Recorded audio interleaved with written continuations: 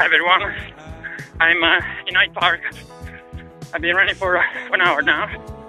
Quite pleased uh, because the average was 14.5 kilometers per hour, so slightly faster than uh, my marathon pace. now I'm trying to slow down just a little bit during the next hour. Two hours of running, 27 kilometers covered. Pretty good. Uh, not uh, affordable. Could have been. Good. I'm ready for the marathon.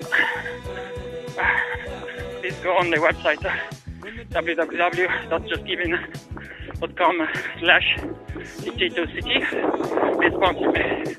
Thanks everyone. Bye.